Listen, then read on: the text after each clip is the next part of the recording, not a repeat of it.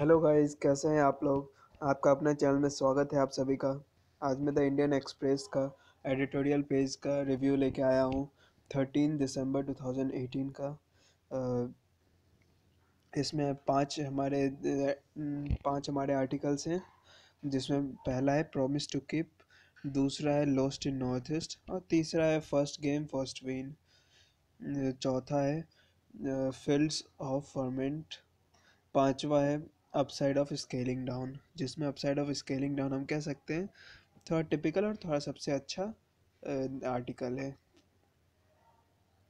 चलिए आज पहले में आते हैं promise to keep promise to keep में वही जैसा कि अभी जो माहौल चल रहा है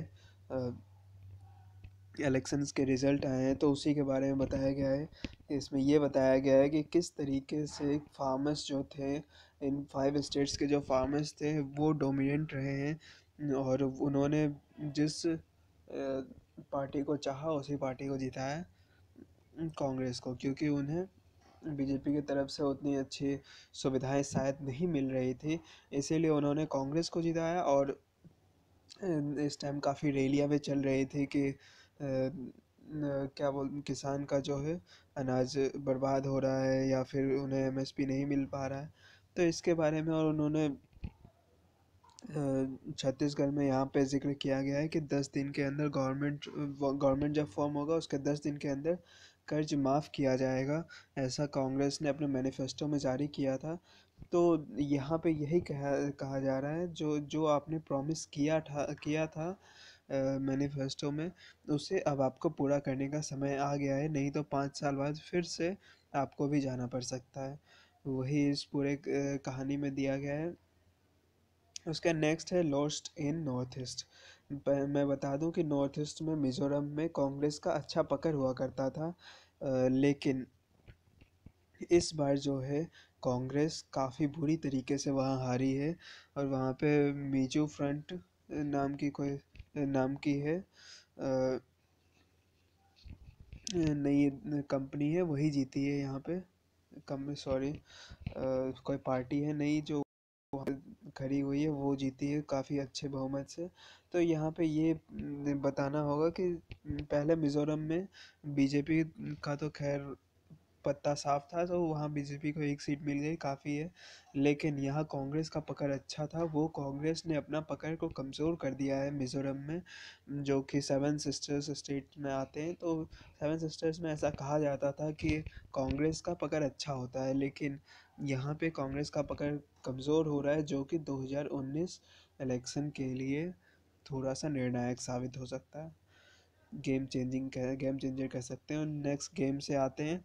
First game first win Australia और इंडिया के बीच जो एडलेड में मैच खेला गया था, उसमें इंडिया ने इकतीस रनों से जीत हासिल की थी, जिससे जो है फ़र्स्ट टेस्ट ऑस्ट्रेलिया में जीतने का रिकॉर्ड एक नया बना था। इससे पहले कभी इंडिया फ़र्स्ट टेस्ट नहीं जीत पाई है। तो यहाँ पे वही कल से, कल सुबह से, सुबह पाँच बजे से नेक्स्ट टेस्ट स्टार्ट होने वाला है लॉर्ड्स में। तो वही उसी के बारे में बताया गया है कि किस तरीके से इंडियन बैट्समैन क्या मिडिल ऑर्डर कंसर्न है इंडिया के टेल टैलेंटर कंसर्न है, वही सब के बारे में इसमें बताया गया है। नेक्स्ट जो आता है हमारा field of ferment field of ferment why assembly election verdict should occasion rethink on loan waiver मिसपीराइज इसमें यही बताया गया है फ़ील्ड ऑफ़ फर्मेंट मतलब जो भी फ़ील्ड था, आप उसको आप कंक्रीट से भरिए, आपका समय आ गया है, आपको जो है फार्मर्स उन्होंने आपको पूरे बहुमत दिए हैं, ताकि आप आप सरकार बनाएँ मध्य प्रदेश में और आप फिर से चुनाव, आप फिर से फार्मर्स को हेल्प करें, नहीं तो नेक्स्ट में फार्मर्स आपको निकाल देंगे फार्मर्स आपके अगेंस्ट वोट देंगे नेक्स्ट इलेक्शन में। तो वही जैसा कि मैं आपको बता दूँ, इंडिया में सिक्सटी परसेंट से ज़्यादा फार्मर्स एग्रीकल्चर सेक्टर से जुड़े हुए हैं पब्लिक और जिसमें से एग्रीकल्चर जो है almost eighteen to seventeen to eighteen percent ji India को प्रोवाइड करता है। पहले जो था, उन्नीस नाइनटीन सेवेंटी नाइनटीन एटीज़ के आसपास फिफ्टी परसेंट से ज़्यादा जी डी पी शेयर करता था कंट्री को, लेकिन अब जो है, बहुत कम शेयर करता है। इसका मतलब ये नहीं है कि एग्रीकल्चर कम हुए हैं। इसका मतलब ये है कि बाकी सारे सेक्टर्स में डेवलपमेंट काफ़ी अच्छी हुई है और एग्रीकल्चर सेक्टर्स में ज़्यादा डेवलपमेंट होने की कोई गुंजाइश भी नहीं है, क्योंकि उसमें आप ज़्यादा प्रोडक्शन नहीं कर सकते हो, जितना ज़मीन है, उसके अकॉर्डिंग ही आप प्रोडक्शन कर सकते हो। तो वही यहाँ पे कहा जा रहा है कि हालाँकि ये इतने कम जीडीपी शेयर करते हैं, लेकिन सिक्सटी सिक्सटी परसेंट से ज़्यादा पब्लिक है जो एग्रीकल्चर सेक्टर से जुड़े हुए हैं। तो अगर आप इनकी हेल्प करेंगे, तभी जाके आप नेक्स्ट इलेक्शन में अच्छे से जीत पाएँगे। नहीं तो आपका हाल बहुत बुरा होगा, जिस तरीके से अभी बीजेपी का हुआ।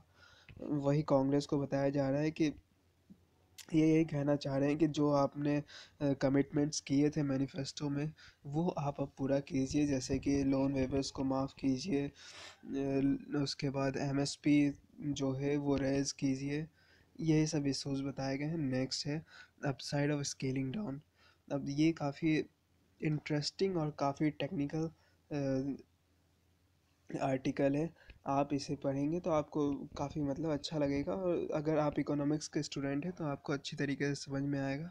यहाँ पे इन्होंने एक सेंटेंस का यूज़ किया है those who can do those who can't teach इसमें ये टीचर्स के ऊपर में बताया गया है कि जैसे कि दो तरह के लोग होते हैं, जो पढ़ा सकते हैं लेकिन उन्हें वो काम नहीं कर सकते और जो होता है कि जो काम तो कर सकते हैं लेकिन वो पढ़ा नहीं सकते हैं।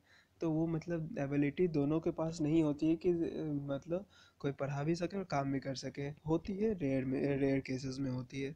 तो वही यहाँ पे बताया गया है कि भैया, हर किसी को, वो एबिलिटी नहीं होती कि वो पढ़ा सके और उसी तरीके से बताया गया है कि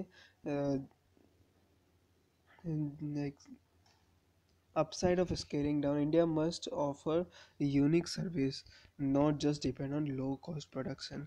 यहाँ पे ये बताया जा रहा है मेक इन इंडिया का बब्बर शेर जो है, उसके बारे में बात किया जा रहा है, जो इंडिया जो है, वो यूनिक सर्विस प्रोवाइड करे।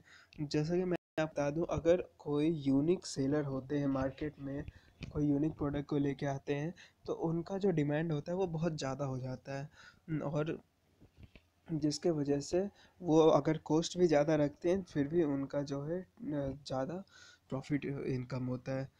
तो वही यहाँ पे ये कहना चाह रहे हैं कि आप जो है सिर्फ़ लो कॉस्ट प्रोडक्शन चाइना की तरह देख के लो कॉस्ट प्रोडक्शन ना कीजिए, बल्कि आप कुछ यूनिक करने का सोचिए, जिसके वजह से जो होगा कि इंडिया का डेवलपमेंट बहुत अच्छी तरीके से होगा। जैसे कि चाइना है, चाइना की जीडीपी काफ़ी बेहतर है, और चाइना इन्वॉल्व थी कि हर चीज़ को लो कॉस्ट लो कॉस्ट में बनाना है। लेकिन यहाँ पे इंडिया को ये देखना चाहिए कि इंडिया जो है, वो यूनिक सर्विस के ऊपर जाए और और ऐसे लोगों के साथ काम करे जो मतलब जो अच्छे से हैंडल ऐसे लोगों को हैंडल कर सकते हैं जो टीचिंग भी अच्छे करते हैं और जो जिनके पास नॉलेज है लेकिन वो बता नहीं सकते वो उन दोनों लो, लोगों को एक साथ करेंगे तभी जाके आपका प्रोडक्टिविटी मैक्सिमम हो पाएगा। और यहाँ पे economics of scale and economics of scope के बारे में बात किया गया है। इकोनॉमिक्स ऑफ़ स्केल यही होता है कि आप एक लार्ज स्केल में अगर आप प्रोडक्शन करते हैं तो आपका जो होता है कॉस्ट जो होता है प्रोडक्ट का वो रिड्यूस हो जाता है।